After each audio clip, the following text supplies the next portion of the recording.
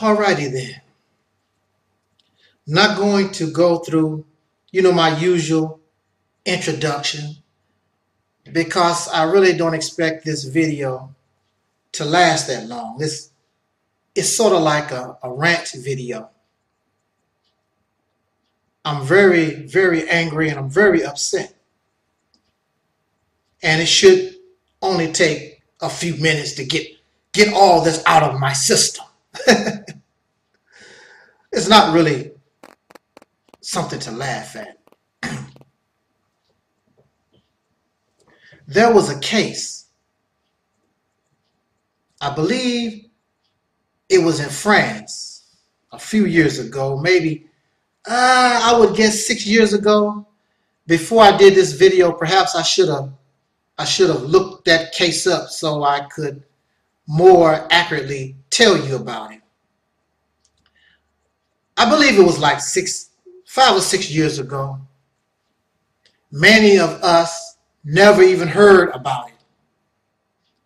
But it was in France, and I believe it was the first time in legal or judicial history that somebody tried to sue the church. This person took their church to court and sued them for fraud. I don't know what happened I I would I think they it went to trial or whatever, but the end result did not affect, of course, the church and you know religion or whatever. But it was the first time that somebody used the legal system and make those who make these claims about God and, and, and the Holy Ghost and the spirits and all this stuff, make them go to court and prove that what they're talking about has some type of credibility or it's just a lie made up to either control me or get my money. I need to look up and find out what happened in that case. I I, I don't I don't really remember. I, I do remember that was happening. I don't know exactly what the end result or the conclusion of the case was. What was the verdict? I don't even really know if the church was was put on trial. I don't even think that it made it that far. But for this video, for the purpose of this video, and I want to say this, and I want to make clear to all of you, because many of you believe in God, you believe in Allah, Yahweh, Jehovah, you believe in the prophets and Moses and Jesus and, and whomever. Y'all believe all this stuff. But you did not create it, you did not make it up. Somebody, not God, not Jesus, not Moses, none of these people came to you and sold you anything. Most of us, it was forced on us at birth. So you had, I know I didn't, I had no choice but to accept my Lord and Savior, Jesus Christ. I did not know when I was a little boy, I did not know nothing about Allah, Prophet Muhammad, Bilal, or whoever. I only knew about my Lord and Savior, Jesus Christ, and this bad guy called the devil. This was taught to me almost at birth.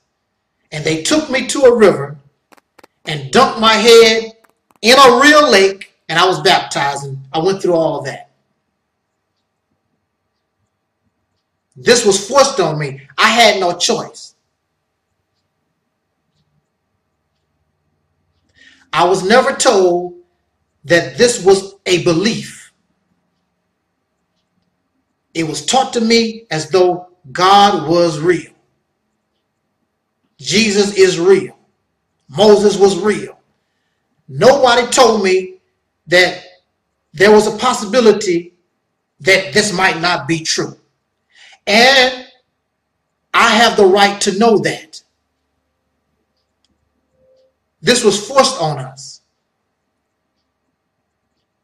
The, the Jesus character was forced on dark skinned people by racists, and then our parents forced Jesus on us.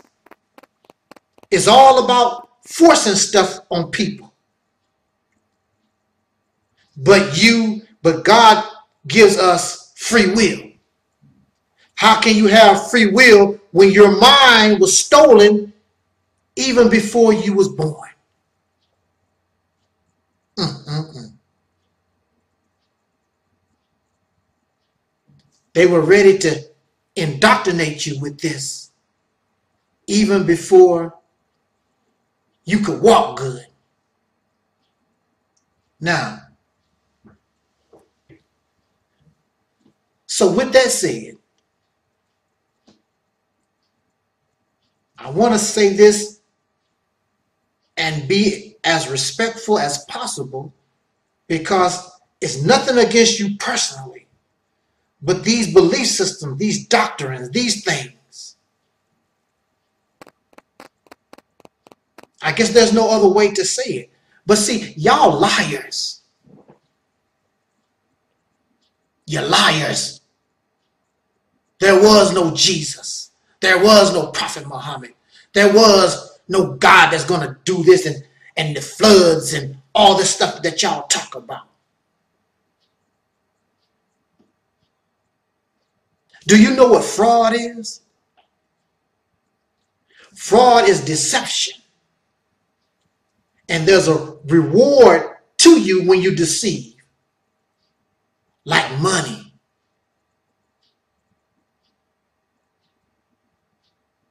When you make a claim on an automobile, and this automobile automobile does this and it does that, and you accept money, and this automobile does not live up to the claim, then you sold that person a lemon. Because the automobile does not do what the customer expected the automobile to do, which is simply take me to point A to point B. But this car has all kinds of problems, and you knew it. Most times they know. Sometimes you don't, but most times they know something was wrong with that car. They're trying to pawn it off on somebody. But y'all believers in God, I'm telling you, with good intent, whether you know it or not, you are a liar. And that's just the bottom line.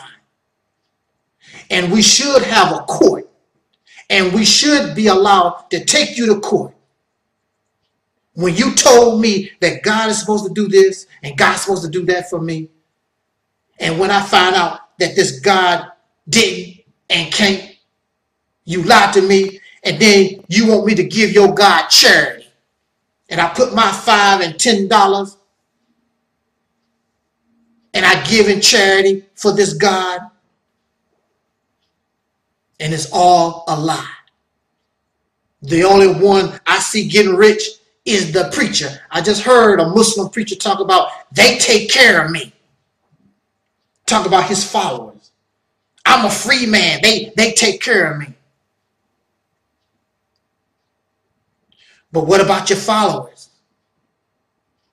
I can guarantee you some of them are drawing disability and using an EBT card, but he's a free man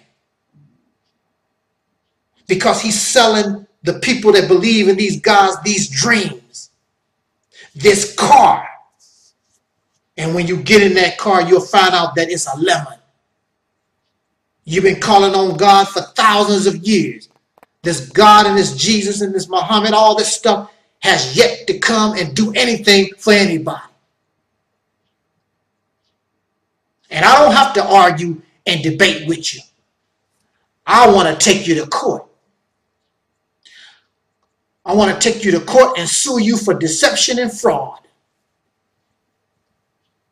And you will lose. And the church, regardless to your religion, these preachers and these pastors, they will lose by the billions and trillions of dollars. Because none of these pastors and preachers, you can talk all pretty and you can smile in people's face, but when you go to court, it's a whole different ball game. Because in court, in the legal system, it's all about proof. It's all about evidence, and you have none.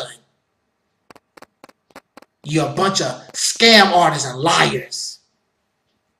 And you're taking the people for a ride. And you have been doing this for thousands of years, making slaves. They take care of me. I'm a free man. I can do what I want. So if they would, so if they were not taking care of you, what would you be doing? How free would you be if you didn't have these slaves that believe in this lie you have told them, this deception?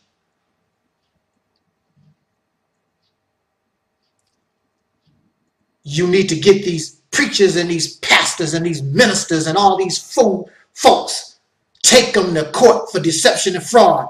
Deception and fraud because you taking my money from me through deception, through lies.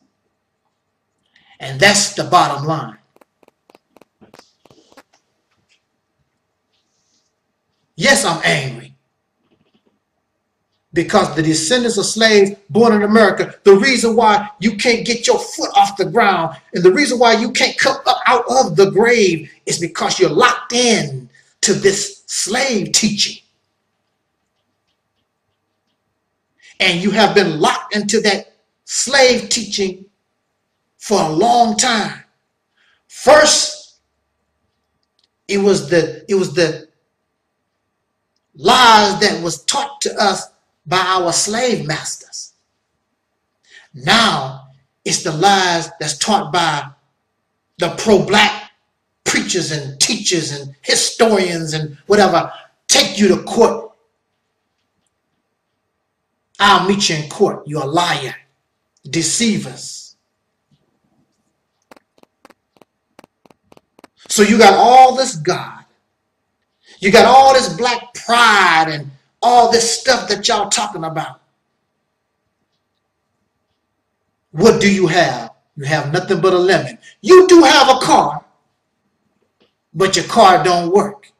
Your car don't have proper wheels. Your car can only go 20 miles an hour. Your your your your, your car got it's, it's it needs all kinds of repairs because somebody sold you a clunker. You don't know how to pick the right car. And when you pick any kind of religion, when you pick any kind of spirituality, you have already picked a lemon. You've already picked the wrong car. It's not your fault. Like I said, all of us come from that place. But see, nature is good to us because nature gave you and me a brain. And when you allow your brain to begin to think for yourself, let your brain analyze, and you don't even need to go to court. Let your brain be the judge. Feed this, re examine all these things that we have been taught, and let your brain figure things out. And you will come to the same conclusion that I have that it is a dang shame that we allow ourselves to continue to be tricked and deceived all this time. The buck has got to stop here. We need to take these pastors and preachers and all these people talking all this God holier than thou stuff, take them to court and prove what they're talking about. I already know they can't prove nothing. Bunch of liars. And if you support that, you're a liar too. That's a shame.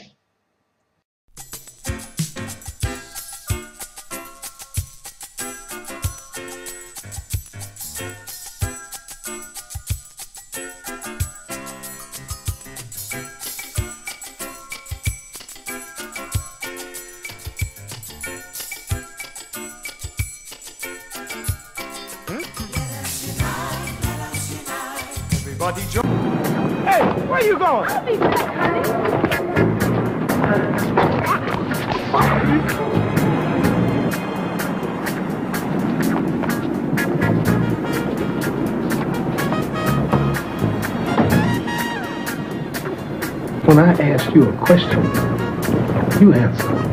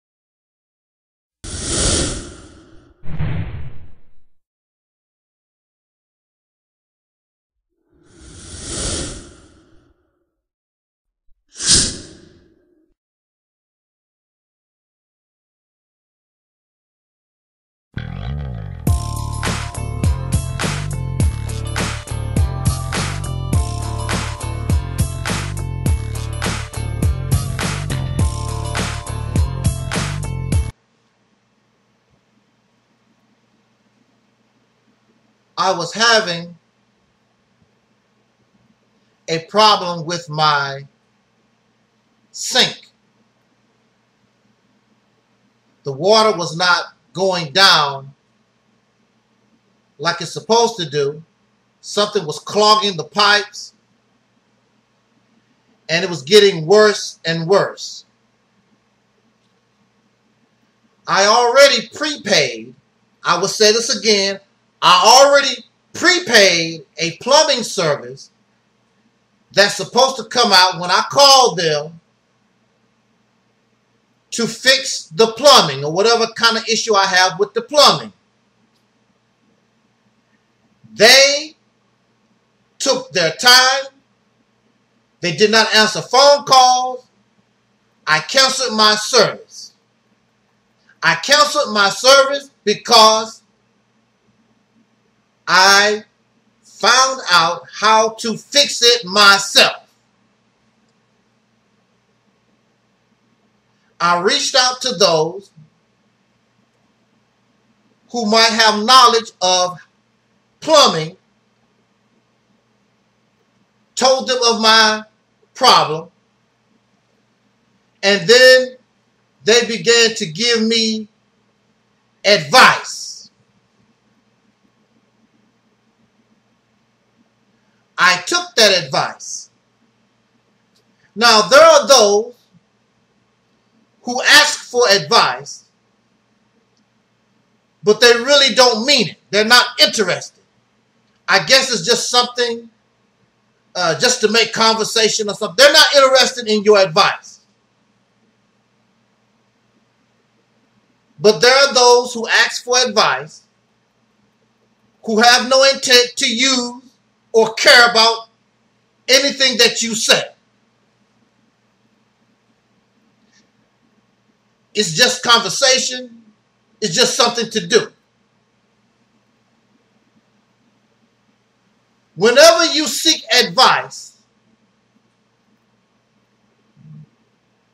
we should keep our mouth shut or be sincere when we ask somebody, What is your advice? Apparently, you need help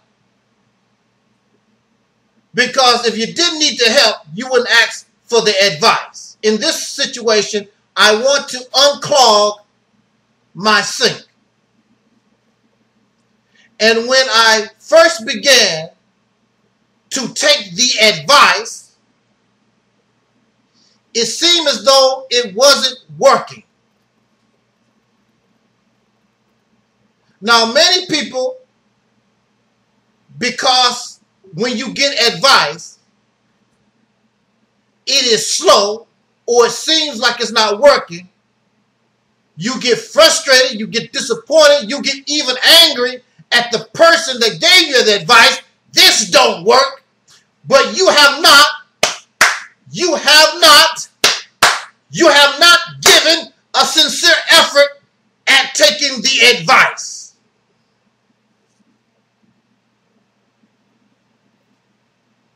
So I was not disappointed. I was not frustrated. I continued to work at the advice a person gave me to unclog my sink. And it seems as though, and it's possible, that it would not work. This is the thing about advice. Sometimes it don't work.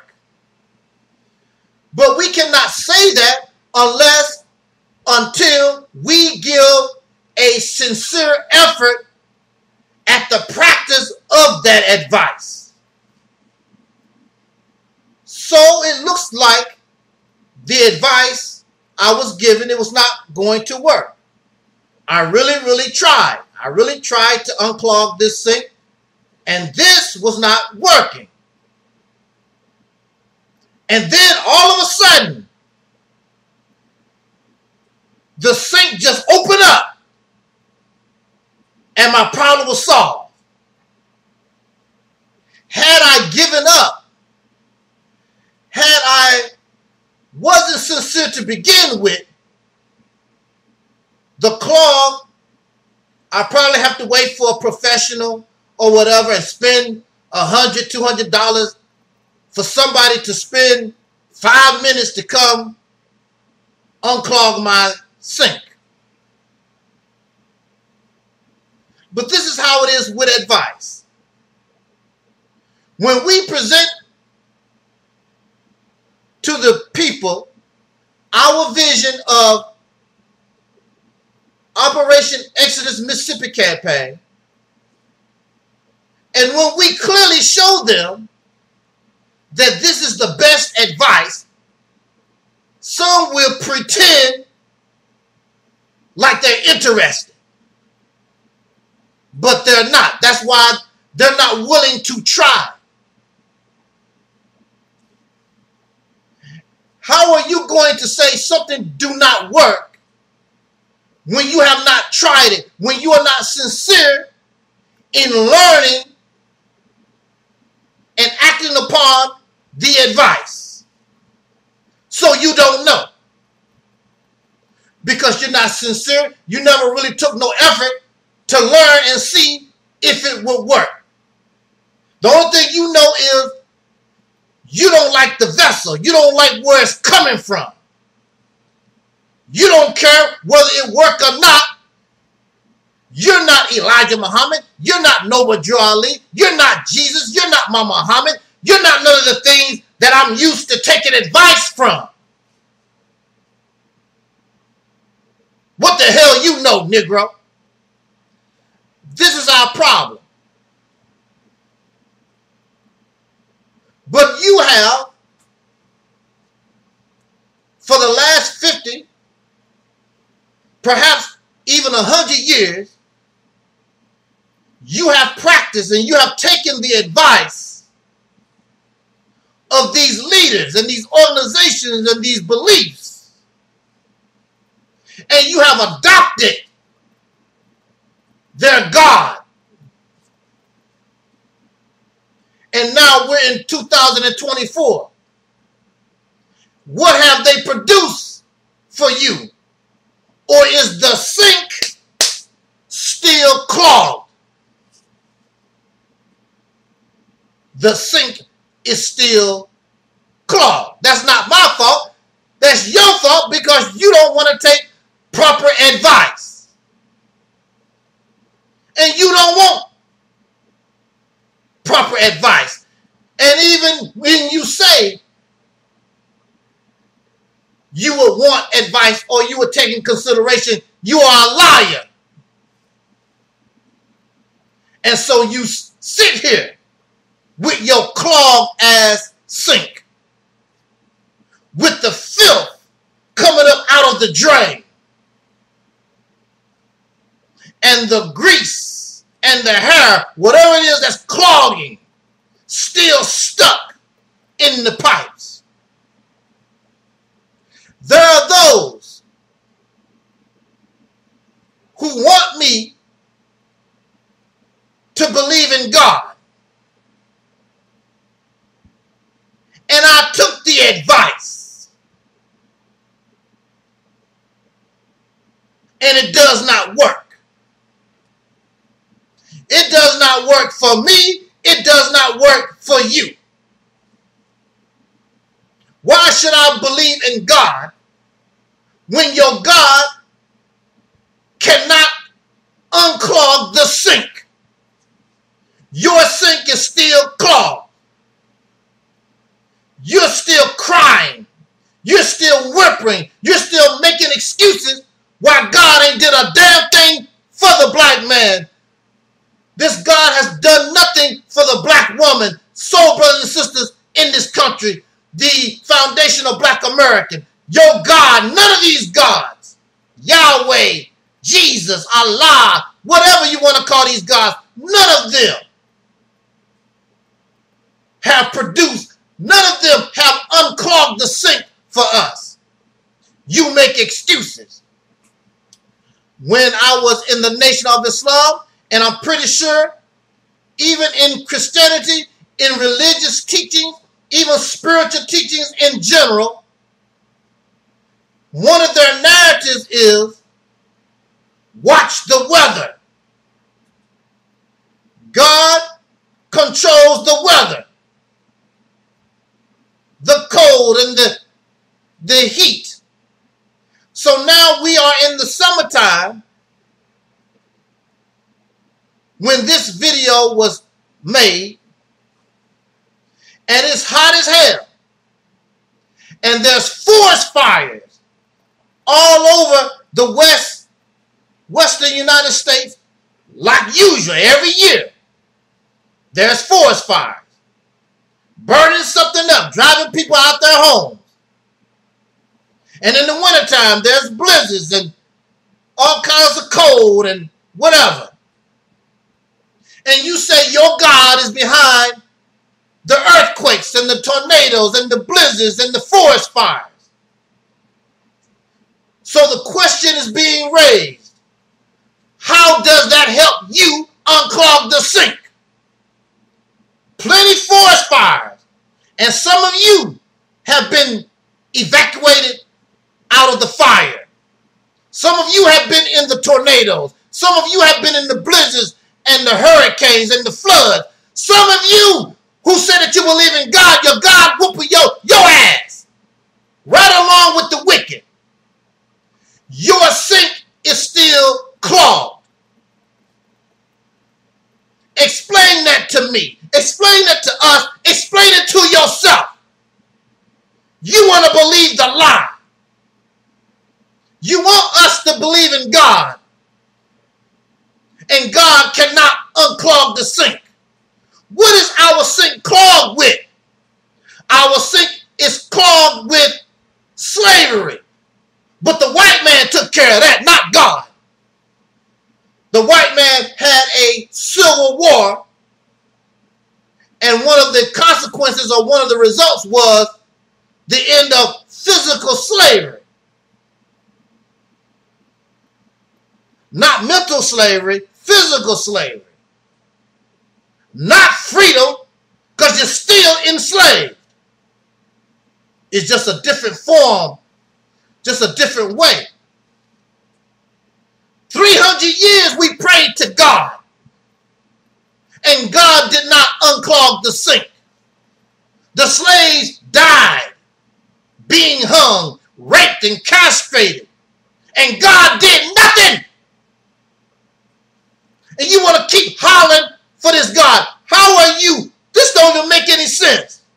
Why would we why would we keep requesting? Why would we keep hollering for, for something and it is not helping us? Why would we call the police and we know the police is not gonna come? Why would we call the fire department when we know the fire department is not going to come or the fire department is not capable of putting out the fire. Our sink is still clogged.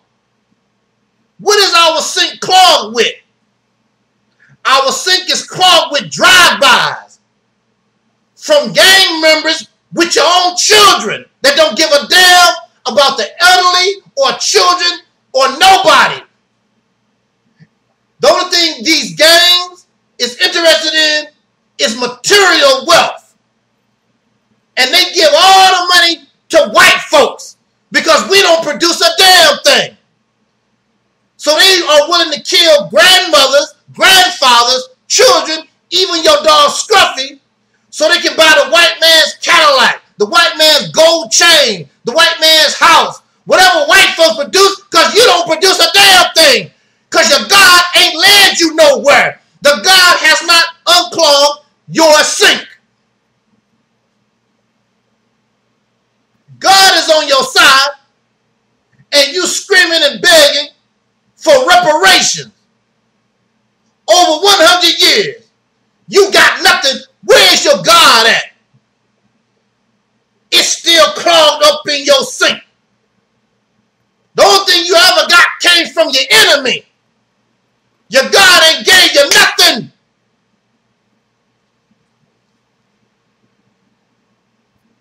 Your sink is still clogged up. What your, what your sink clogged up with?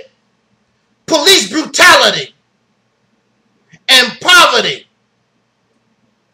and unemployment, dysfunctional family. And God ain't doing nothing. You hate each other because I don't believe in Jesus. You hate each other because I don't want to be African. You hate each other because I don't want to be uh, Aboriginal. You hate each other because I don't believe in Jesus. All this nonsense. What kind of God are you waiting on? And none of these issues have been solved by your God. You don't even know who the hell you are. Your God allows you to have an identity crisis. Are you black? Are you a soul brother and sister? Are you African? Are you a foundation of black American? Are you a freedman? Are you a Hebrew Israelite? Are you a Jew? Are you some type of Native American? What the hell are you? Your sink is clogged. And all of you, or a good majority of you, you say that God is with you, but God got your sink clogged. Nobody wants to be around your plumbing when your plumbing don't work. When you take a dump and the turd is still there. How frustrating. How many of us have took a good good old dump and you flush the toilet, it won't go down. It's clogged. Something is keeping your big brown uh, uh, uh your, your, your big brown cookie bar still it won't go down. Nobody wants to be around dysfunctional plumbing. Nobody wants to be around dysfunctional people. Nobody want to be around a dysfunctional God. Crazy ass people t- keep telling us what God gonna do, what God can say, and the turd still floating. It has yet to be flushed down. Your your plumbing still clogged. Why isn't it? Why isn't God helping you? It's either because God don't exist or God has no power. It's either one or the other. Either God don't exist or God has no power. And if God has no power, if you calling for God for help, God has no power, then God cannot unclog your sink. God cannot solve your problem. So for the last 100 years, for the last 400 or more years, since our ancestors, since we as a people, we have gravitated toward Allah, Jesus, Yahweh, whatever these gods are, your sink is still clogged. Don't tell me to believe in God when your sink is clogged. When God ain't did a damn thing for you. So how you gonna tell me, how you gonna tell us to believe in God when clearly with all the blizzards, with all the earthquakes, with all the whatever it is that you claim God is doing, ain't it's not doing a damn thing to help you. Because God don't exist. And you can keep believing that nonsense if you want to. But it's quite clear. This sink is dysfunctional. This sink has a clog.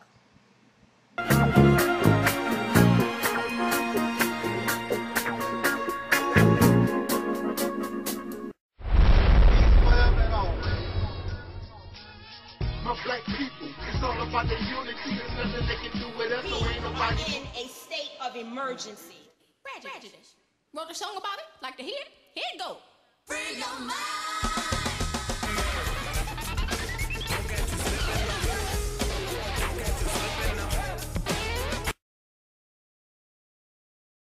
Keep it real. What dear Cause I keeps it real like that.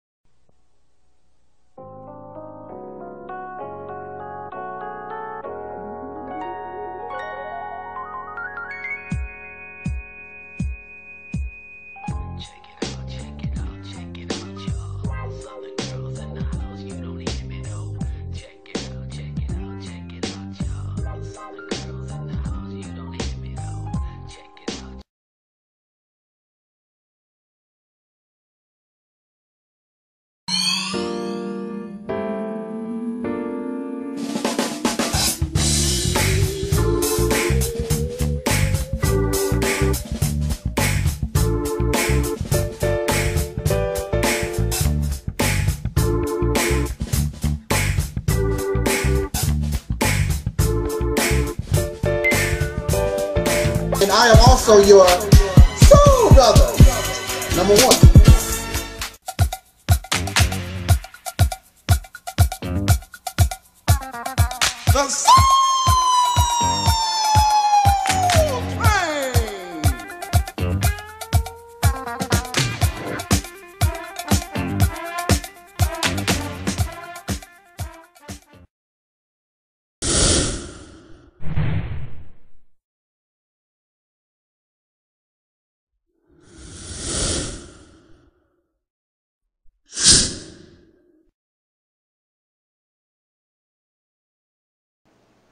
Next thing you know, you're cussing and screaming and hollering.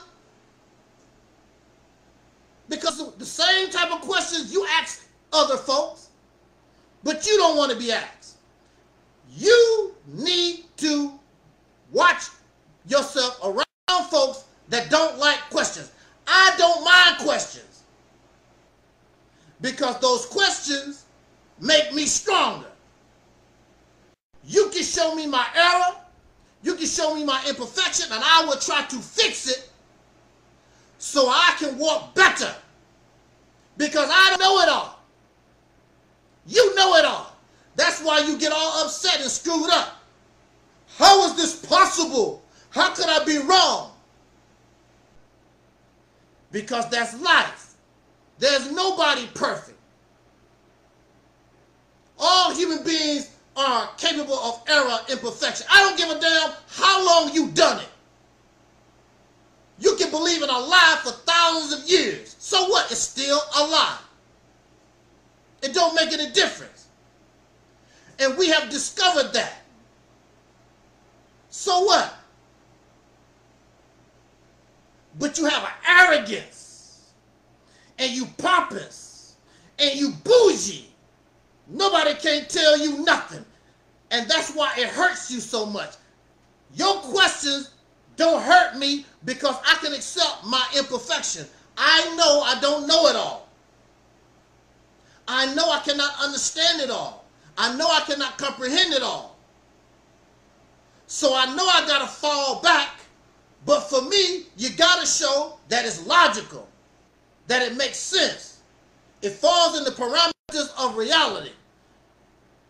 I'm not going to accept your spookism and your fairy tales and your fantasy, your beliefs. And that's your problem. You keep trying to paint these beliefs in, as facts, and they're not facts, they're beliefs. I asked a question like this. I was just thinking about this question. I would bring it to the nation of Islam. Or I would bring I would bring it to black folks in general because a lot of them they believe this that the black man is the original man. The black man is the father of civilization. Many of you believe that. You say that. The original man. But common sense tell you that the original man had to be butt naked. The original man had to be somebody who was a hunter and a Matter of fact, you brag about civilization, but civilization was the beginning of humanity become oppressive to itself. It was the beginning of taking your rights, your rights away from you. Because you have the right to water. You got to pay a bill. You shouldn't have to pay no bill. You should be able to go out in the forest and shoot you a deer, a possum, go out in the forest. Raspberries grow free in the forest. Even carrots. It's according to where you live. You can get free bananas in the forest. You got to pay for bananas. You got to pay for chicken. You got to pay for some eggs. You got to pay for electricity. You got to pay. Well, electricity is not natural anyway, but water, the necessities of life, you shouldn't have to pay for. But with civilization, it took your human rights away. And dominant people began to tell others what you should and should not do under their rule. And so they made civilization manufactured kings and queens. This royalty that turned corrupt. And instead of them serving the people, now the people serve them. And you want to brag about it. The only thing good about civilization is the technology. But as far as the human experience, it's a detriment to you. I can guarantee you the first human slave was a woman, the female, because they are weaker. You gonna serve me. Matter of fact, even in the old marriage vows, it said that your wife's supposed to serve you. They lo- love that. And she, this female, is oppressed all over the earth, even to this day. She's the number one victim of crime all over the earth sex trafficking, rape, prostitution, whatever it is, women, even murder. Next to children. And it's been going on for thousands of years. And a lot of it is justified by these religions, not by God. These religions is made up by men who are anti-woman, put you in your place. And religion is used to justify racism because men want to put other men in their place. I'm the king of the mountain. So I'm the white man. I might not be the original man, but I'm the man that kicked you in your ass and put you down below me. I'm the superior one. So you might be the original man, but I'm the supreme. White supremacy. I'm the supreme man. So you can be the original if you want to, Negro. I'm the supreme. I'm the supreme man. Now how you like that? Your original don't mean a damn thing. Because I'm supreme. So civilization created all this mess. I wouldn't go around bragging about it.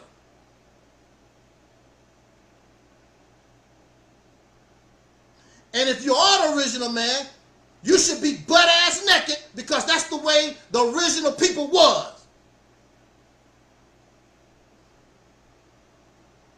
I can guarantee you nobody came into this life on this planet wearing no damn clothes. I have yet to see one baby coming to this earth wearing clothes.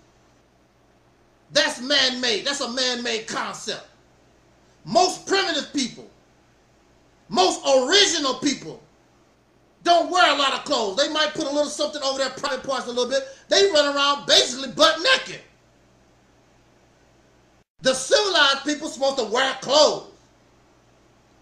And who is more who is more uncivilized than those who live in America? You got women walking down the street with no shame, with a piece of string up their backside and a little shorty short, and men ain't no different. You naked, your pants sagging, see your penis, your little penis dragging on the ground, all kinds of stuff. Y'all nasty and disgusting. You have the nerve to talk about somebody civilized. What's civilized about you? Go to any of these clubs or whatever, especially late at night. Oh, they really be getting down. They got the lights all dark. You ought to see the freakishness that goes on. Then you get up and go to church on Sunday. Praise the Lord. Fake ass country. Y'all holy and righteous. Why I cannot question you? So I, I, I bring that question up. Brother, you taking it the, the wrong way or whatever. How am I taking it the wrong way? You should say you are the original civilized man. Because you're not the original man. The original man, I, common sense tell you the original man don't wear no damn clothes. You can say, I'm the original civilized man, not the original man. And the only people on this planet that science determines is probably the most original on the planet are the Twa or the Pygmy people. And the Maasai also is part of the original people. And they still live their original way. Woo! You the original man, but you don't live the original way. they don't folks don't want to hear this kind of stuff. I hope it's hot in your apartment and I hope you burn up. we should question those who don't like questions.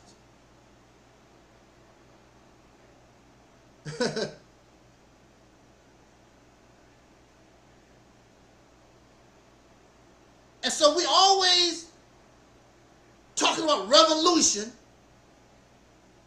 and they always talking about liberation but revolution and, re- and liberation requires change.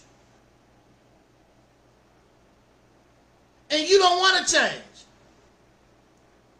You like being exactly who and what you are right now. How are you going to ask for revolution? How are you? That's what liberation and and liberation is. It's about change.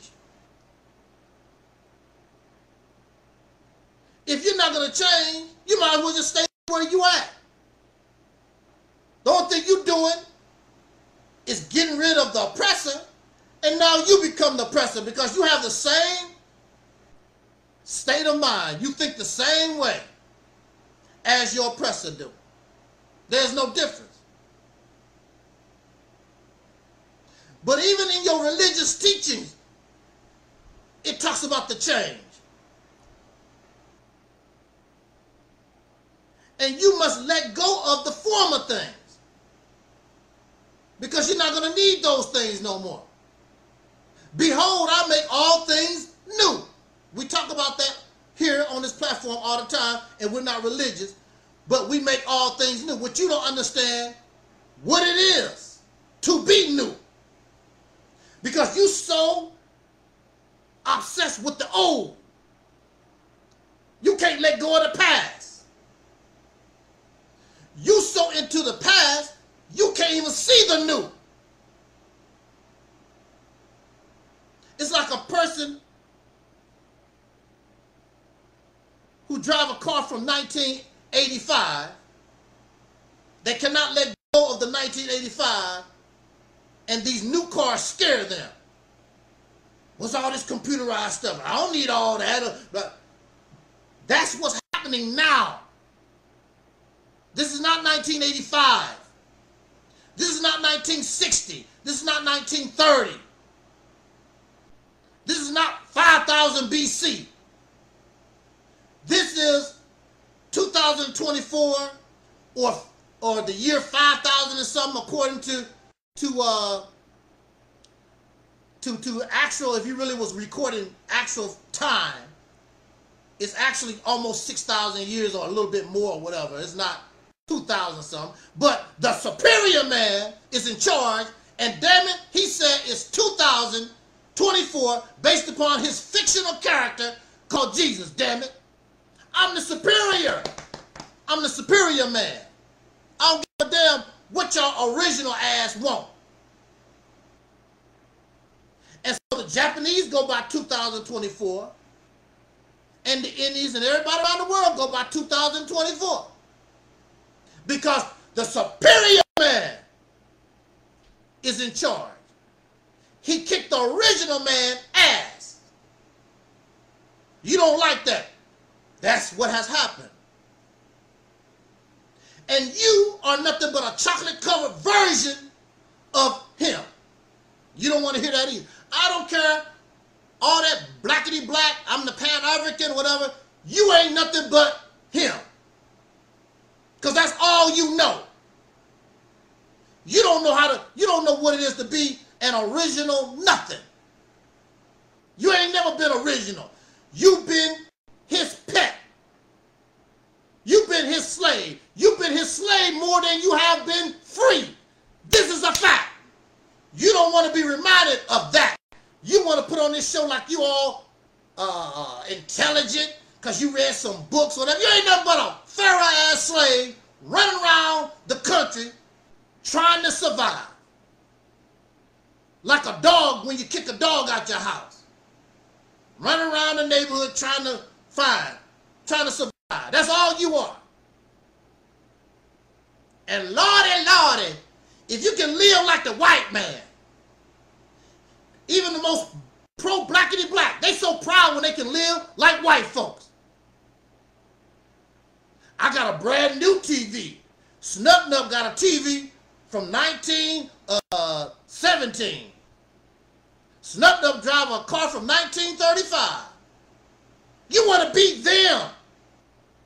I don't give a damn because you don't produce, you didn't produce no TVs in 1935. You don't produce no TVs now. What the hell you bragging about? It's their stuff. You bragging about their crap. You ain't produced nothing. I can understand if you say, uh, Angel, uh, you you using the white man's TV. We make our own TV. This our TV. You're not doing that. You telling me about something that you got from uh, what's his name? Tesla, uh, GMC, Ford, or some Japanese brand, Kia, Hyundai. You don't produce a damn thing original, man. You come in here and you brag about what you got. Your diploma didn't come from your school. It came from their school or they support your school. Said the wrong thing, they would take their funding away from Howard. These uh uh video by um the North Koreans. Talk about how dumb Americans is. The only thing I could say, I couldn't say nothing. Because it's true. Americans are dumb. It's true. All these game shows and foolishness. Some of these people don't even know the capital of the state that they live in. Been living there all their life. What's the capital of, of your state? Uh, uh, Alaska? it's Alaska. Dumb. You got a public school system that just push dumb children, just, just, just graduate children, can barely read and write. Y'all want to brag, you don't want to change. You got to change. How do you expect a change, but you don't want to change?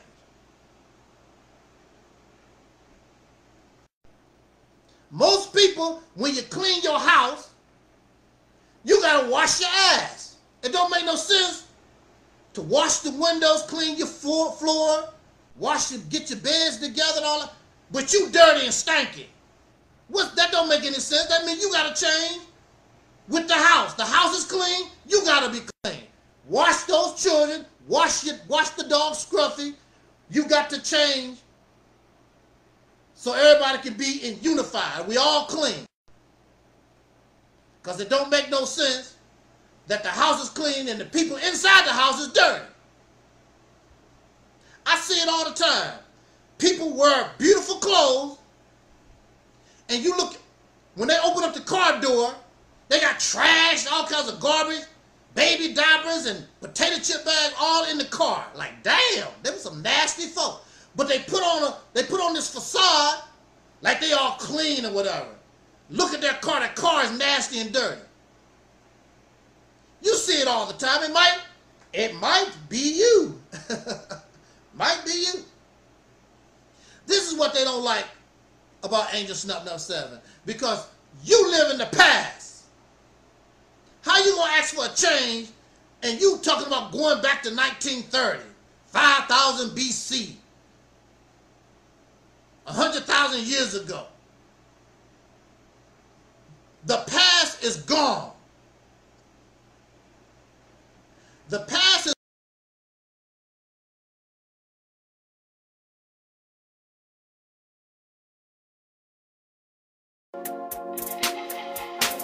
Everybody who is black and interested in black people, let us sit down and find out how we can get together in one direction against one enemy and accomplish this job overnight. When soul singer and black activist Sam Cooke wrote the lyrics to his song, A Change Is Gonna Come, it was very direct and to the point. With some changes to it, the song was still digestible. In the year 2019, black folks continue to go through the change rather than direct the change. A community activist named Taalik Ibn'rad has made an appeal similar to what Sam Cooke was asking for a change. It's said that the meek shall inherit the earth. We ask when. When will the landlords give the meek a free lease?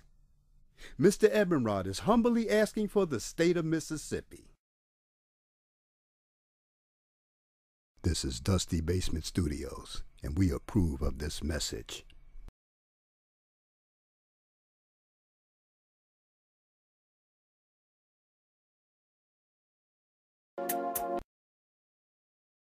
The Mississippi campaign represents everything that you claim that you want. The beginning of an all-black independent nation. The ability to control your own resources. Your politics. The law. Be able to do your own thing for a change. Create an, an economy. Create and produce goods that Africa or anybody on the planet would want. You're fake, you don't want to do nothing. Three hours talking about the Mississippi campaign.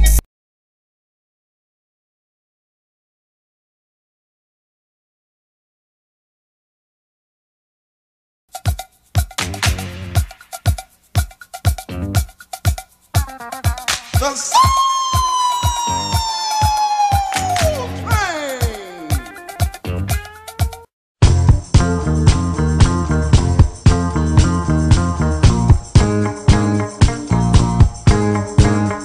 Africa. Euro, Euro swag. Uh, look at my pants. These ain't come from Africa. Boy, they came from France. Eating like a bitch. Got a full tummy. Y'all niggas pockets on Africa. Somali hungry. Ah, I'm moving past with my guys. Y'all still trying to wipe the flies off your fucking eyes. Send them in the mine. Send them in the mine. Need more diamonds for my chain so that I can shine. Ah, my Nike's real, your Nike's Africa. Keep a lot of white girl like a bachelor. Getting in a lot of flips like a spatula. Then buying all Italian leather, no Africa. Fuck Africa. Fuck Africa. Send them in the, to the yeah. Niggas gonna be mad at that, man. Fuck Africa, though. That's how I really feel. I don't even care. Nigga. Hope you'll climb aboard next week on these same stations and you can bet your last money it's all gonna be a stone gas, honey. Always in parting, we're gonna wish you love, peace, and soul. Black people, it's all about the unity. There's nothing they can do with us, so ain't nobody moving fire at reality's temple. Reality's temple. My black people, it's all about unity. There's nothing they can do with us, so ain't nobody moving me. The king, we make it plain and simple. Bringing knowledge and fire. It's gone. Hopefully, we're supposed to be better as we go into the future. Your parents lived their time, and many of them are gone. But they wanted you to be better. They didn't want you to try to go back into the past and live and beat them. Because that's impossible. You can't do that. When we try to go up back into the past, they making a movie. Or it's for some kind of show. Some kind of party. I'm going to dress up like it's the 1970s. It was a show. What was the name? The, the Wayans brothers was in it. What was the name of that show? I think it was I'm Gonna Get You Sucker. I think that was the name of it. Remember that brother was walking through the street, had goldfish in his platform shoes. This is the 90s or the 80s or the 90s or whatever that movie was made. And he dressed up, what's his name? Antonio Fargas. He used to play uh, Huggy Bear. He was dressed up looking like a pimp from the 1970s through, through the neighborhood and people started laughing at him. Like, what the? Look how people laugh at the Hebrew Israelites. They come into the neighborhood, look like goat herders. They trying to dress up and act like people from the ancient past they trying to copy. And people laughing at them. Trying to be something you never was. You never was a Hebrew Israelite in Africa some damn where. You was born in 1995. You never lived the 70s. You don't know nothing about it. Hell, I lived the 70s. I do not want to dress up like it's the 1970s. I don't want to do it. And I actually lived the 1970s. I, I don't want to do it. So they trying to take you into the past. They want to change, but change it back to the past. Whatever that was is over and done, y'all. It's done. You can't get it back. Many of us was four years old. Raise your hand if you was four years old. You can't go back and be four years old again. Many of us are not virgins no more. You can't go back and get it. Some of us wish we could when we find out this sex crap ain't it ain't it's over it's overrated. Damn, I wish I had my my virginity back. I shouldn't have messed with them damn people. They wasn't they wasn't worthy of me. But it's too late. You can't go back and get your virginity back. Pan Africanism, blackity black, all this black stuff, they want you to go backwards. They want you to do the moonwalk and go back into a past that we never lived. When we should be moving forward. They don't know how. They don't have any vision. They can't see the new. You will never be able to see the new because your ass stuck in the past.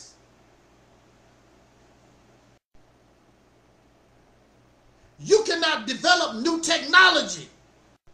If civilization was thinking the way y'all do, we still be, hell, we still be walking.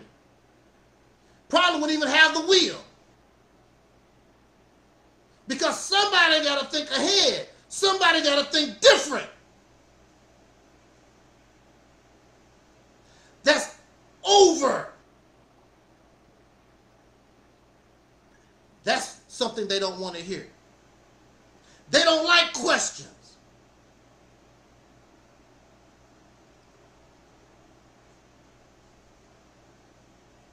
Beware of those who don't like being questioned. And your problem is you're too arrogant and you're too pompous to say, I don't know. I don't know. I never thought about it that way. Because you think you got it going on and you really don't. Regurgitating stuff that's not real, regurgitating stuff from people from 1930. That's all they knew. That's all they could comprehend. There was a lot of people that was actual, that was born actual slaves was still alive in 1930. What do they know? We just came off the slave plantation. You have more days as a slave as you do as a free person than a Pan African. How old is Pan African? How old is the Nation of Islam? It ain't older than being on a slave plantation, huh?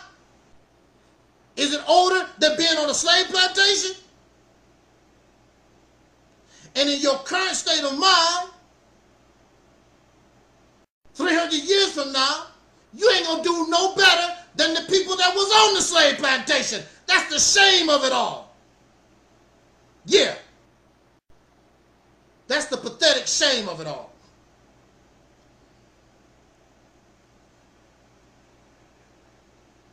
Some folks find me arrogant. Can you believe that? you think you are, you think you are know it all. Can you believe that some folks think that I'm arrogant? There are people who talk a lot of trash, and I invite them here, they won't come. They talk a lot of trash. You know how it is, uh, or how it was back in the day with Mike Tyson. There was a lot of people talking trash. What they gonna do to Mike Tyson?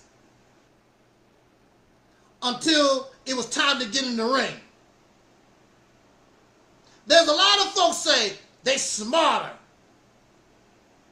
than Angelsnupnup7.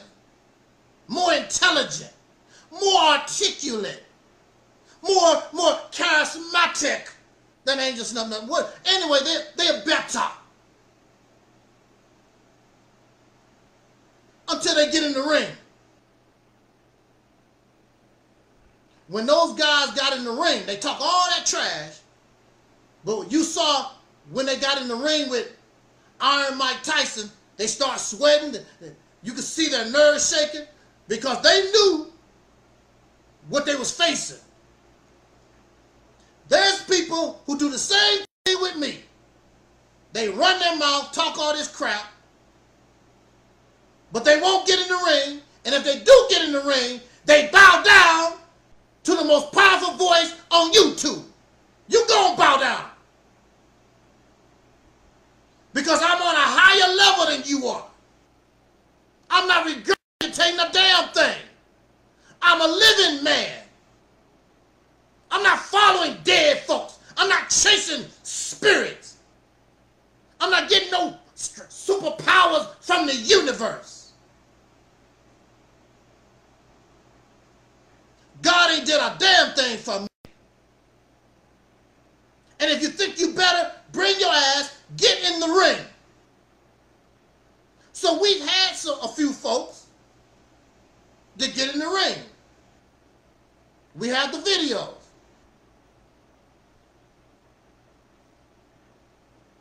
What happened to them? They fall. It's not my fault. They fall. One brother got so upset, you you trying to persecute, you prosecute me. I don't know you. So I'm not trying to persecute you. I'm putting your belief, I'm putting your opinion on trial. That's what's on trial because I don't know you. I'm putting Hebrew Israelite teachers on trial. I'm putting Pan Africanism on trial. I'm putting Nation of Islam on trial. Jesus Christ. I'm putting all these things that we are obsessed with. I'm putting it all on trial. And most of you cannot even represent. You ain't nothing but a puppet and a damn zombie. You don't know what the hell you believe in. I remember when I used to go to church. And I would go to the church, I would go to Sunday school, and I would give the Sunday school teacher problem.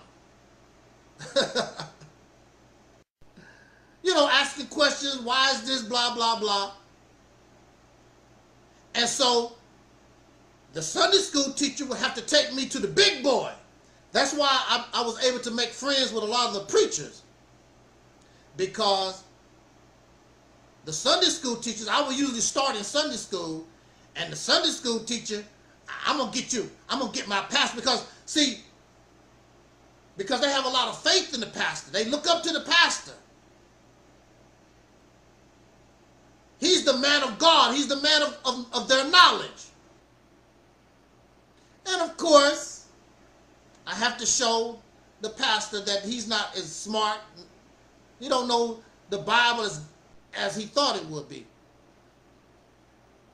But a lot of preacher friends that I made, they just they didn't even trip off of it. We got along very well. I got along well with my pa- those were the older pastors. I don't know about these younger guys, but the older pastors used to try to practice peace and love and all that type of thing, and I was able to get along with them because they was trying to practice the love of Jesus Christ. These people run their mouth. They are violent. They are profane. They are hypocrites. You cannot get along with them no matter what they talk about. Now,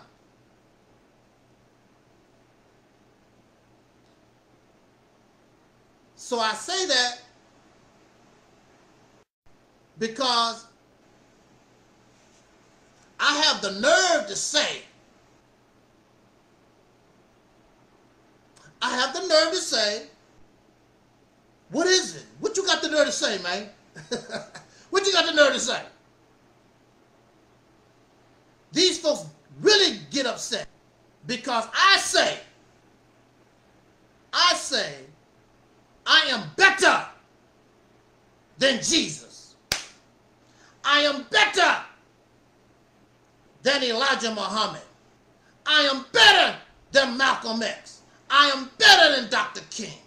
And the list goes on and on. Damn it, brother, you done crossed. Brother, you done crossed the line. Unsubscribe. I'm unsubscribing. You done crossed the line now. You done crossed the line now, bro. You you better than Malcolm X? Oh no, oh no. Unsubscribe. Twin Pyramid unsubscribe. Brother Tracy unsubscribe. This nigga crazy as hell. He said he better than Malcolm. He better than Marcus Garvey. He better than Harriet Tubman. This nigga done gone flippity.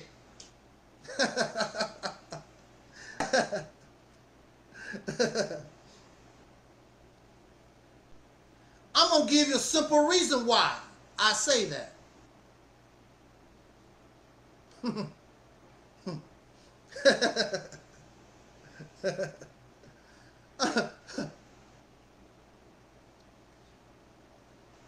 it's as simple as this. Who is more powerful? A dead lion or a live dog? Which one is more powerful? Everybody that we talking about, all these folks that we mentioned, are gone. They have no power. They left certain wisdom behind. They can't go no further. It's the end. The live dog keeps making puppies. The dead lion makes nothing except stench. That's what the dead lion does. I don't care how powerful the lion was. Nobody care what the lion did. But now the lion is dead. The only thing the lion is good for now is for the maggots, the dung beetles, or whatever. The living dog continues to make puppies, the living dog continues to live. The dead lion will stay forever where it dropped. I am beyond Malcolm. I'm beyond Marcus Garvey. I'm beyond Noah Jolly. I'm beyond all. I'm beyond these, the Quran and the Bible. I'm beyond because these are things from the dead. And I'm alive and I express myself as the living. And as I'm living, I can change. I can change my forms. I can move from the left. I can move from the right. My comprehension skills is there. I can see. I can dance. I continue to move forward. But when you're dead, I don't care how powerful or how smart you think you was. Albert Einstein was one of the smartest men on the planet. It's over. His information stopped when he died.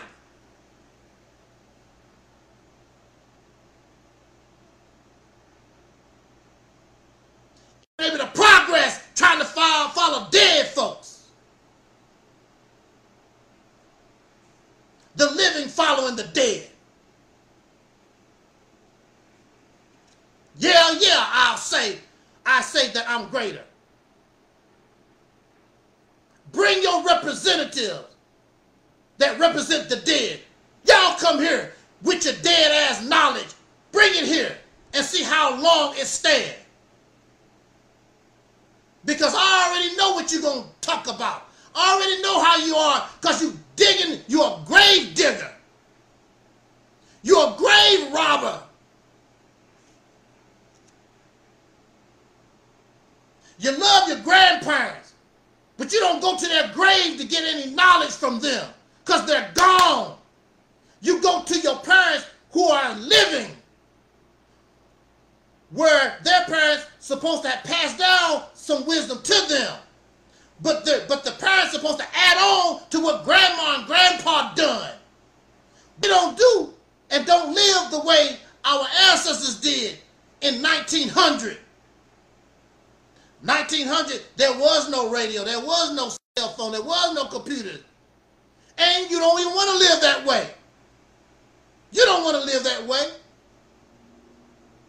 They don't even teach these children cursive writing anymore. Things change and we got to change. But we don't want to change. We want to stay the same way that we are. But what we are is what's keeping us in the grave.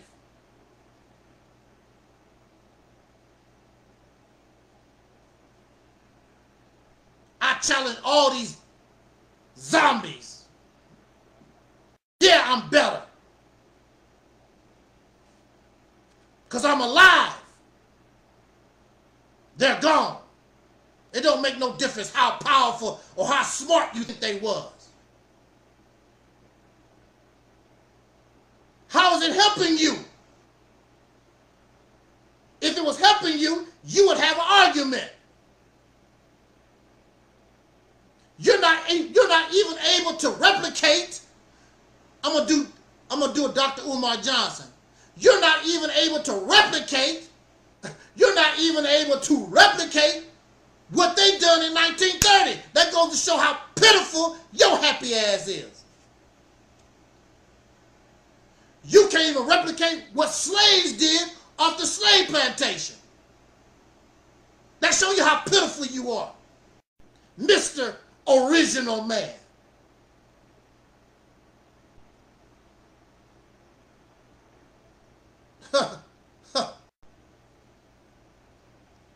you ain't better than Elijah Muhammad. I'm not better than Elijah Muhammad. I'm not better than Pat, uh, Marcus Garvey. I'm not better than whoever. Bring them here. I will come to you. Some of these people talk about you wouldn't say that to Minister Farrakhan.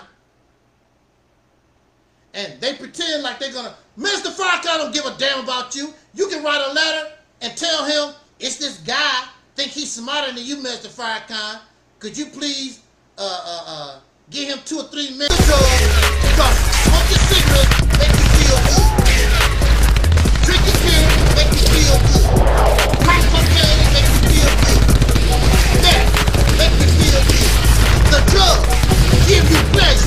Drugs make you feel good. That's why they do it. The people suffer from low self-esteem. The people living in horrible conditions. Light bill, gas bill, rent. Ah, I'm not making enough money. All these children. Give me some beer. Give me some alcohol. Give me some liquor. Give me some weed. I gotta get away from this too much going on. Much going on. Back in Memphis.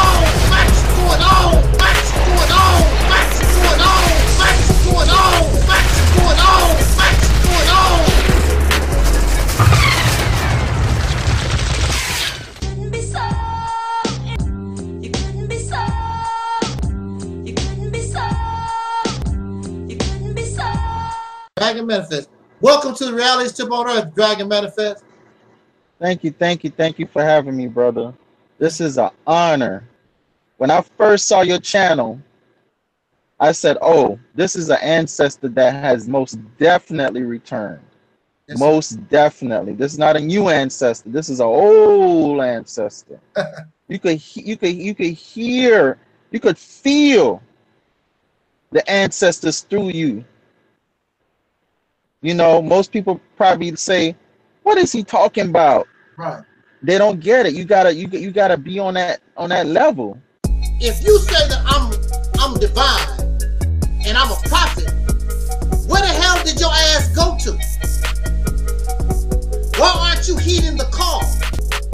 Since I'm a prophet, since I'm divine. Some people excuse the language. Some people just like talking out their ass. Some people just like talking out their ass. Some people just like talking out their ass. Some people just like talking out their ass.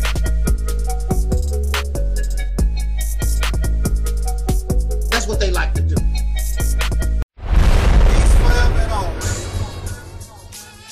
My black people, it's all about the unity. There's nothing they can do with us, so ain't nobody moving. Good evening, soul brothers and sisters. This is Tangi Cox, the Black Sheep, and I am propositioning you to entertain just a little while of being in reality. And this is gonna hurt soul sisters and brothers because a lot of us cannot accept reality. I empower you to, for one year, to subscribe to the reality temple on earth.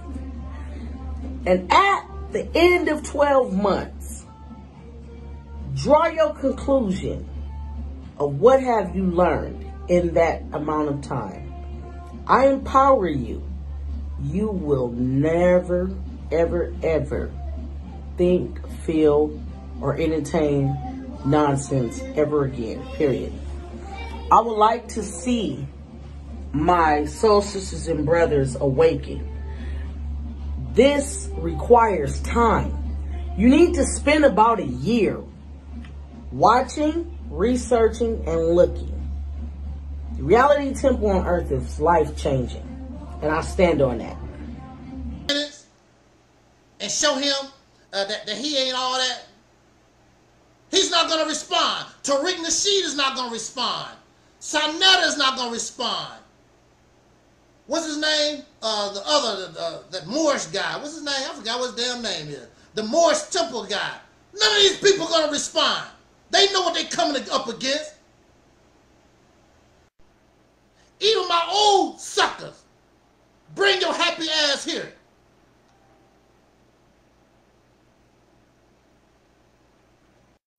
Then you want to try to show off. You think you for some reason you think that you you you've gotten something.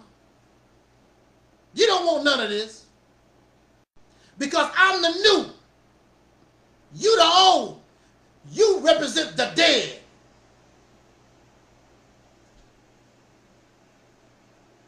In the nation of Islam, we used to teach because you are alive that a fruit of Islam, you have to be fast moving, quick thinking, all right down to the modern, right down to the modern times.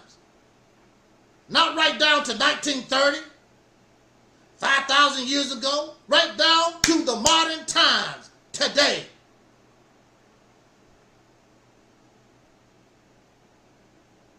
I'm confident because I'm alive, dealing with dead folks.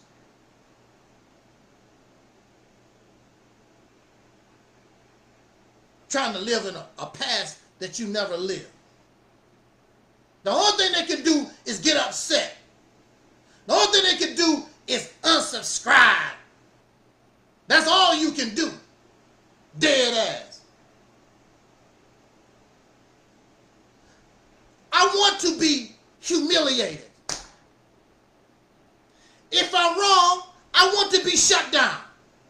I want to be humiliated.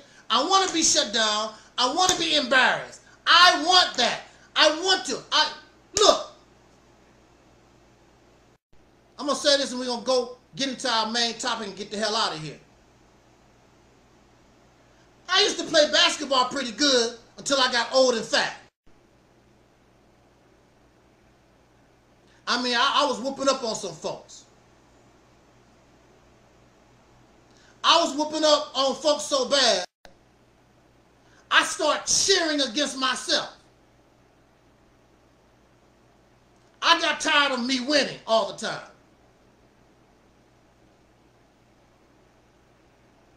So I want you.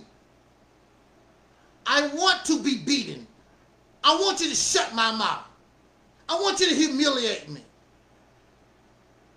Hey, 226, J226. I want to be humiliated. I want somebody, I want somebody to break me down. You're not going to be able to do nothing with me in your current situation. If anybody is able to, to do that, it's because they go, they're on a higher level, on a, a newer level than I am. But I know dead folk ain't gonna do a damn thing with me. I already know dead folks ain't gonna do a, do nothing with me.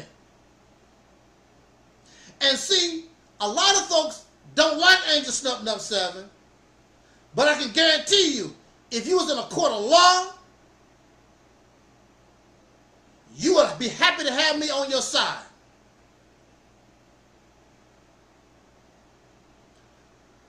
Because in a court of law, they only deal with facts. They only deal with logic. They don't care about your belief. They don't care about what you assume. They don't care about speculation. In the court of law, they, they, they deal with your, your factual evidence. The majority of the time, of course, that's what they're supposed to deal with. But we, we who have actually dealt with the system, we know how that go. But that's the premise. So I welcome and I, I want even the folks from the past. If you think you got it going on like that, I want you to come and humiliate. I want you to embarrass. I want you to destroy my information. Talking about my old computer, talking about my shirt, talking about my bald head, that is not destroying my information. Destroy the ideology of the Reality's Temple on Earth. Every time they attack Angelsnupnup7, they attack, they try to attack me as a person. You never hear them try to attack the Reality's Temple on Earth. They never do. They never attack my information. And none of them have challenged Operation Exodus Mississippi campaign. The only thing they say is, when y'all going to the same old dumb stuff. When y'all going to Mississippi? Same old dumbass stuff. Which we never said that. That's a distraction tactic.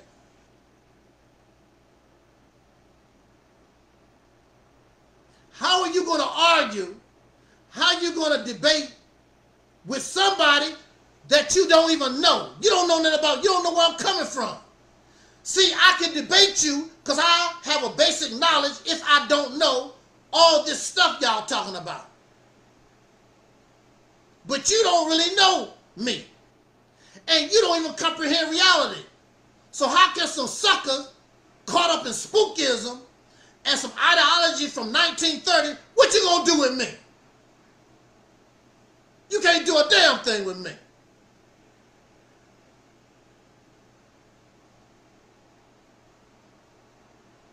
So I can say that. If you don't think I'm I'm uh, better or more intelligent than dead folks, you become their representative and you show me your dead man is smarter and better than me.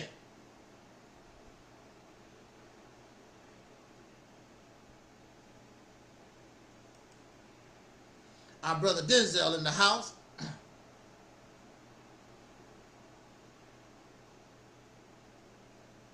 See,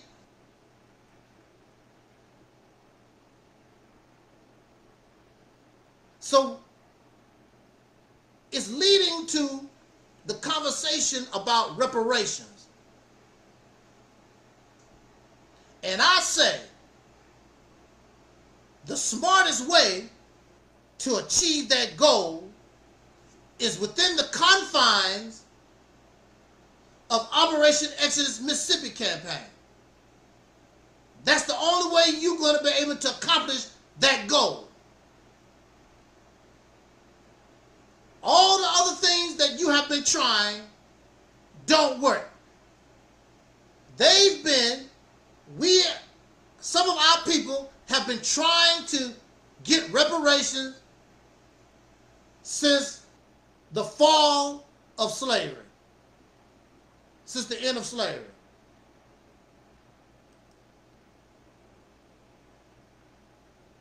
These people have not gave you one penny. There are certain cities and towns across this nation they have taken upon themselves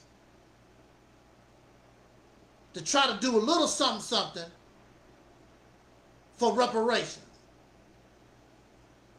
But really, see, that's not their responsibility. It's the responsibility of the United States government. It's the responsibility of the United States government because they allowed this. They benefited. The, the, they made the laws. They benefited from this. It's their responsibility. It's not a small town in Chicago or some or, or uh, I heard LA want to do something. It is, it's not. This is federal responsibility.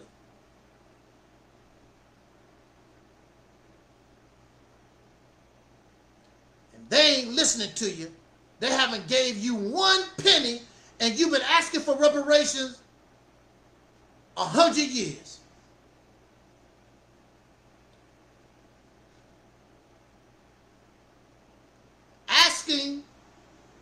There's nothing wrong with asking for reparation. But when you can see clearly that they're not going to give you nothing, then your asking turns into begging.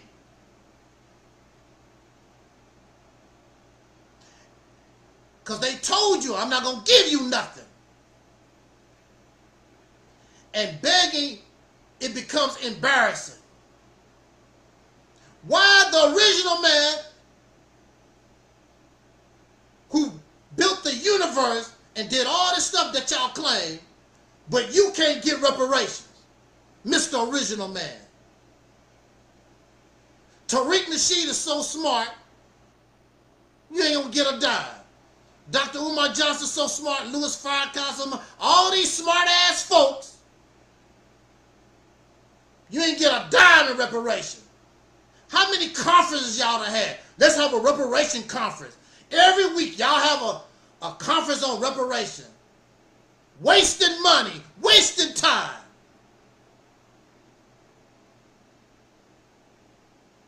You ain't gonna never get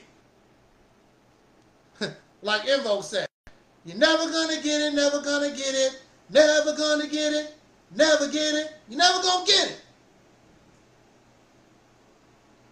You have to be smart. You don't have a military. It's like a small guy dealing with somebody with big muscles and if you're a small guy, you're going to have to think differently. Because this guy is more powerful than you. He's taller than you. He's bigger. He's stronger. Brain over brawn. These people, they look smart or they act smart, but they're nothing but brawn. Why do you think they need all these nuclear weapons? Because they're not smart. So they gotta have all these weapons and, and, tanks and things, because they're not smart.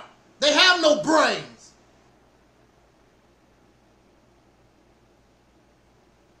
You have to use your brain. You have to be smart. You have to, it's like martial, this don't make any sense. It's like martial arts.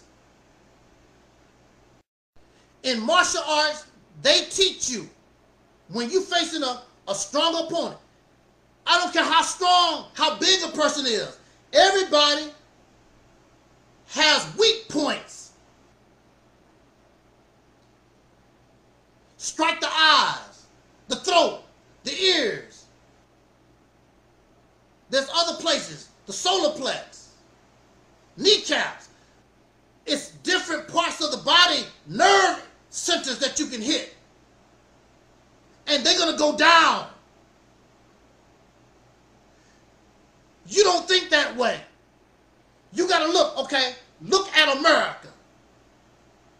What is their weak point? I've, out of all these teachings, you never hear them teach what is the weak point. What is it that we can hit? And they'll go down. You never hear talk like that. They talk like they big and bad and God gonna do this. They talk like you you talk and act like you have nuclear weapons and AK-47s and, and, and all that. You don't. These folks live in fantasy world. Actually, they just they talk all this to sell you so they can make money off your ass. Because you're not getting reparations, but you're giving them all your money and ain't getting a damn thing in return.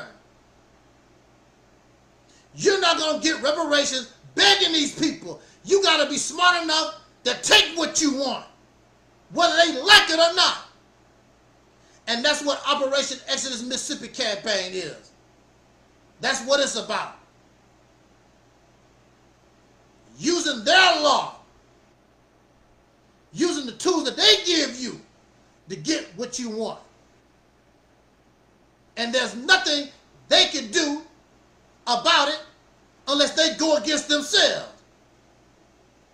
And whatever they do, look, let me tell you something about real scammers. These real scammers, they know how to look at the law and find ways around stuff. And it's legal. I heard Donald Trump, some of his people, they was talking about, you know, that's what rich folks do. What they call it? The loophole. Find the loopholes. And see, the Black Panthers was on the right. They were on the right road. But they got caught up in all this. "Ah, Get a gun, I'm gonna shoot somebody. You you can you're not in no position to, to, to do nothing like that. Let's get all these guns. They use they use all that to destroy them. But Huey P. Newton, those brothers, found the loophole so they can carry their weapons. There was nothing they could do about it. That's where they needed to concentrate. find the next loophole. But no, you fell into these people's trap. You fell into this trap. I gotta be tough. How you gonna be tough with lint in your pocket?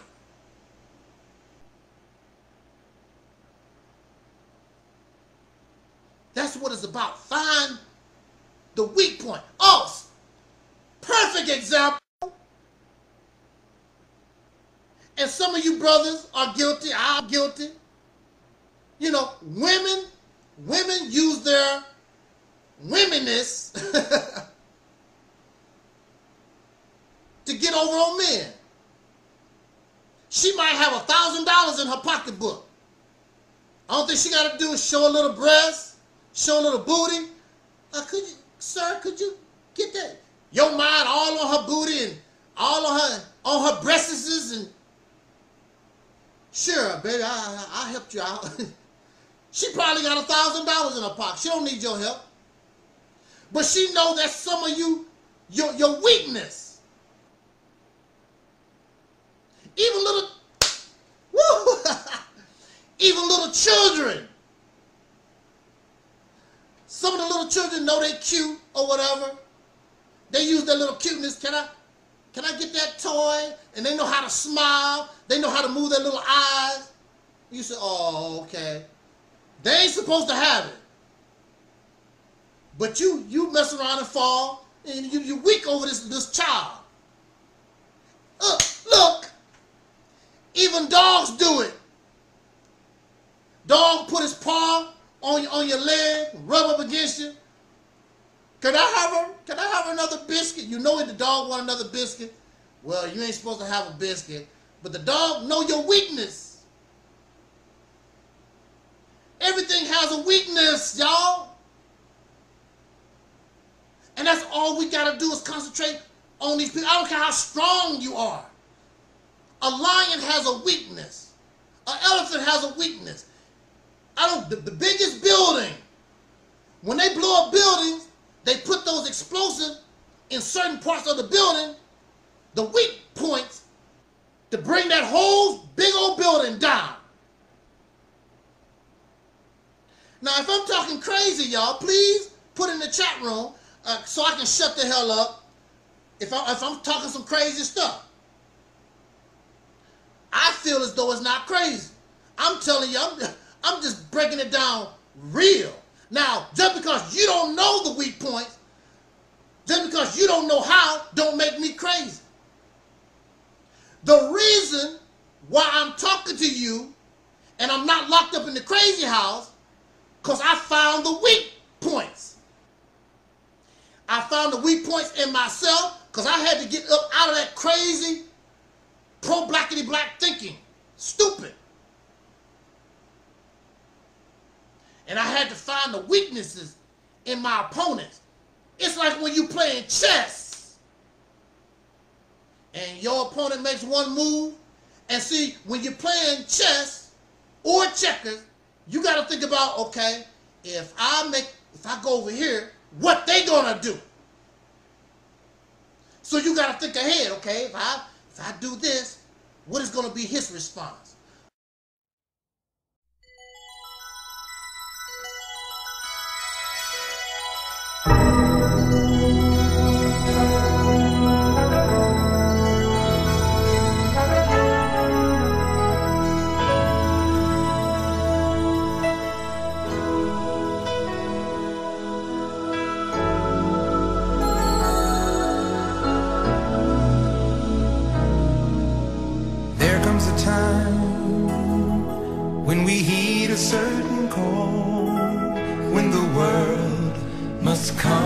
Together as one.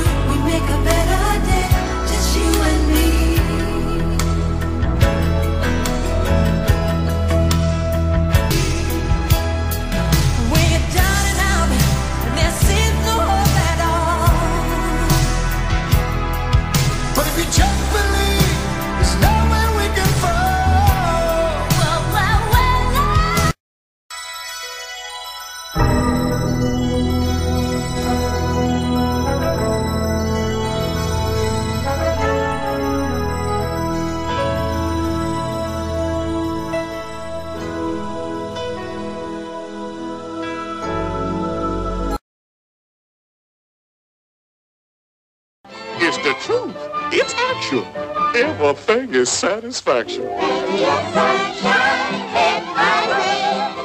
He's heading your way again. Uncle Remus, the immortal storyteller in Walt Disney's honored motion picture classic. Now that's the kind of day when you can't open your mouth without a song jump right out of it. Zippity doo dah, zippity yay. My oh my, what a wonderful day.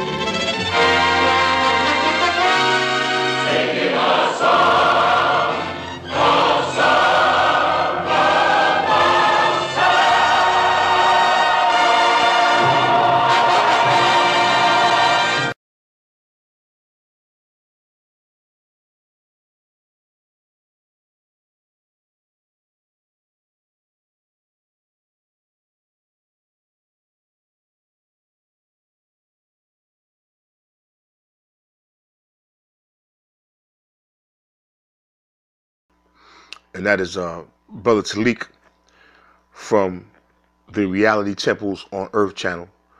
And if you get a chance uh, to subscribe, please do please do subscribe to his channel. He's a he's a good brother. You know, he's trying to he's doing good work and he wants to do good constructive things. He has good information to provide. So please do check out his channel if you get a chance. There's been so many things that's held us down. But now it looks like things are finally coming around. I know we've got a long, long way to go. And where we'll end up, I don't know. But we won't let nothing hold us back. We're putting our show together. We're polishing up our act. And if you've ever been held down before, I know you refuse to be held down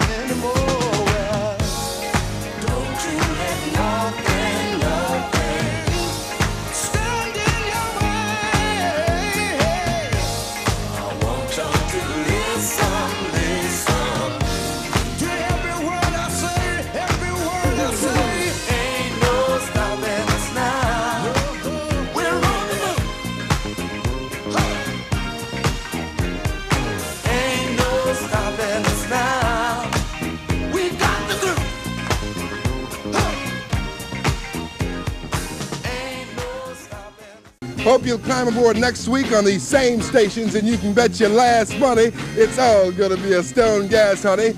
Always in parting, we're gonna wish you love, peace, and soul.